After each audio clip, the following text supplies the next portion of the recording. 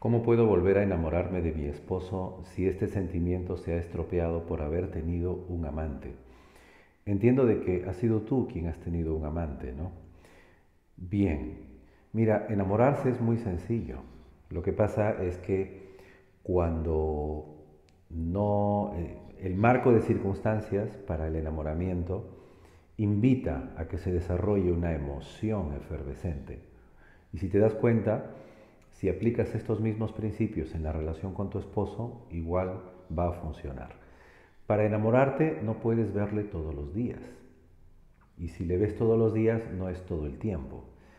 Así también tiene que ser con tu esposo. Es decir, no puedes estar expuesta a él, es decir, delante de él todo el tiempo.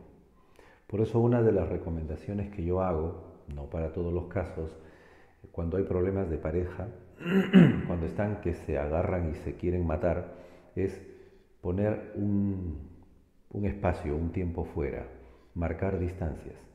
Y donde muchas veces se tienen que ir a vivir a otro sitio por un tiempo acordado. ¿Por qué razón? Porque en ausencia del reforzador el organismo desarrolla anhelo. Si tú vives en la, librería, en la casa del libro en Madrid. Entonces, los primeros días muy bien, pero luego ya te adaptas y como que no te llama mucho la atención.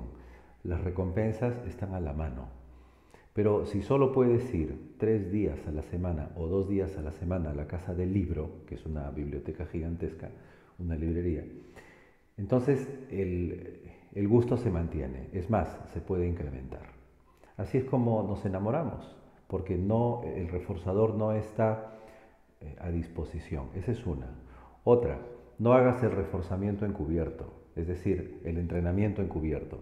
Recordar al amante cómo fue y hacer la comparación. No porque te entrenas en irte para allá. ¿De acuerdo? Y en tercer lugar, tu esposo tiene que conocer estos principios. Él no puede simplemente darse. O sea, él no puede ofrecerse, entre comillas, regalarse como reforzador. y otra cosa que olvidamos, ¿y, ¿y por qué nos enamoramos? Nos enamoramos porque por naturaleza la otra persona gradualmente nos va dando un poquito más de sí misma y nosotros también. No es la primera cita toma todo, así no nos enamoramos. Pues aquí también es decir, tu esposo tiene que saber que él no puede darse completamente, totalmente, sino que el proceso es como te lo acabo de explicar. Gracias por tu buena pregunta.